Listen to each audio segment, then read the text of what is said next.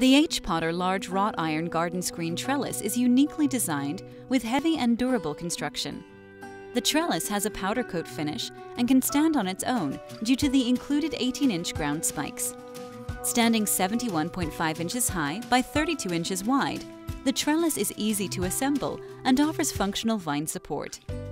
With unique iron scrollwork, the trellis offers an eye-catching design and timeless appeal wherever it's placed.